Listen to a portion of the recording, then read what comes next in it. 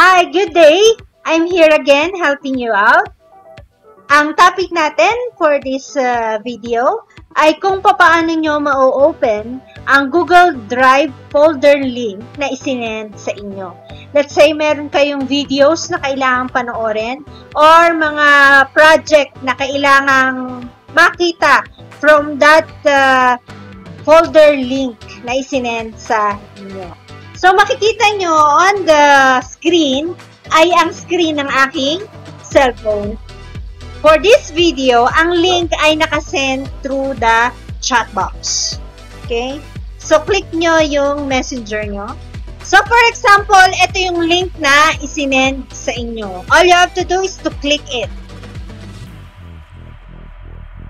Ang kailangan lang, ang secret para makapag-open kayo ng Google Folder link ay malakas na internet connection. Dapat stable siya at okay. Kung uh, naka-connect kayo sa Wi-Fi, no problem, basta't malakas siya.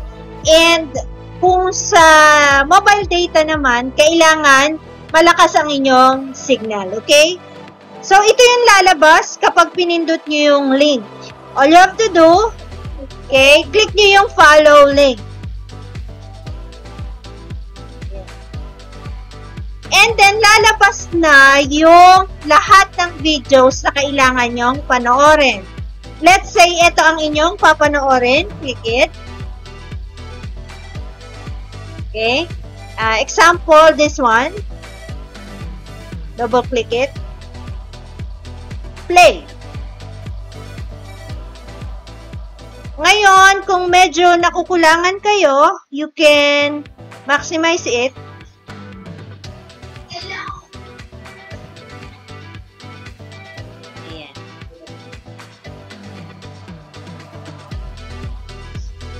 So, successfully, nagpe-play na yung video. So, i-download ba natin? Hindi. No need to download your video.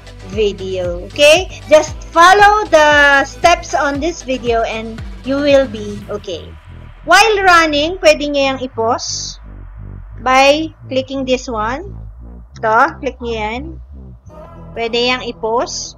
Or, pwede nyo yung i-minimize by clicking this one. Ayan, naka-minimize na. And then, go back to your screen. Okay? That's it. 拜拜。